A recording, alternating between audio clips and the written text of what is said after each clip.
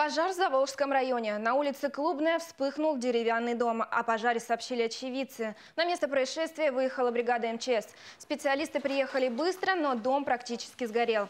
Как сообщили в пресс-службе МЧС, причиной происшествия стало возгорание мусора. По словам местных жителей, барак признали аварийным. Собирались сносить. В последнее время там ночевали бомжи.